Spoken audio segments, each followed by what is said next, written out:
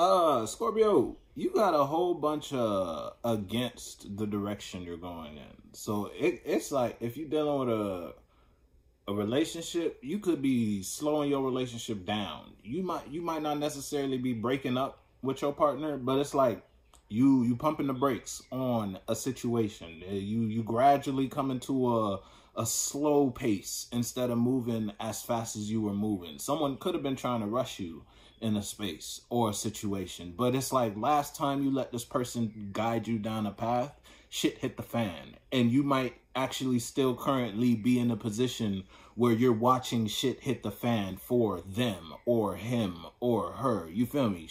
Something's happening and you're in the presence of a falling.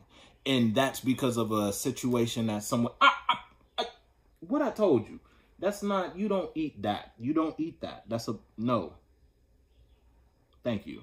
Now, whether you watching someone get it's like and it's someone you could reach out and touch so it's it's your partner it's your best friend it's your coworker in the cubicle next to you type of vibe or it's your coworker that work on the register right next to you type situation you're if it's a work situation you watching them get either fired or demoted in a grand way because of an action they took to try to manipulate the workplace so it's like instead of yeah, that coworker could have told you they was manipulating the manager to get a raise.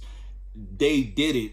You watching them get in trouble because they got caught trying to manipulate the manager to give them a raise, and they either got demoted more than they got promoted, or it's a situation. Let's say this when this this year's review come around and they give y'all y'all a couple quarters. You feel me? Twenty five cent here, twenty four cent 30 cent, you feel me? That motherfucker ain't got shit. They they their checks still the same.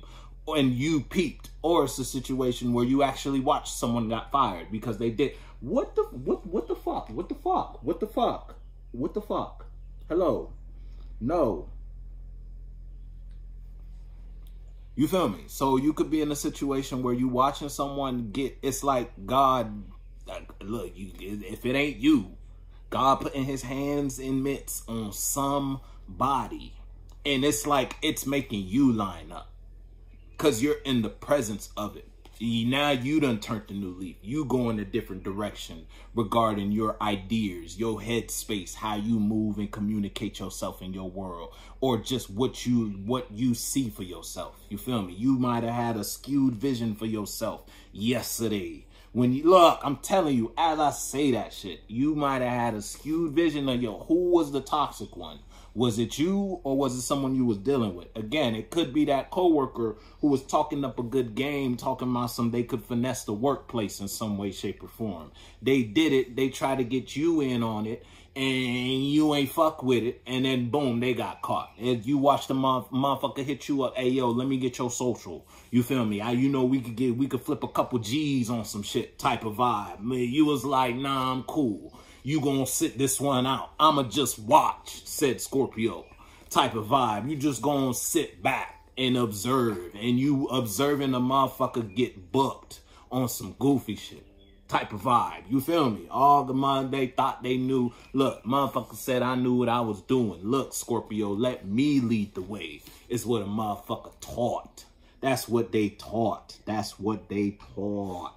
Or it's a situation where that's what you taught. Now you in a position where you might not be getting bagged, but God, he he he whipped your ass with something he made and that shit lined you up real quick. You got hit with something. God threw a hammer somewhere.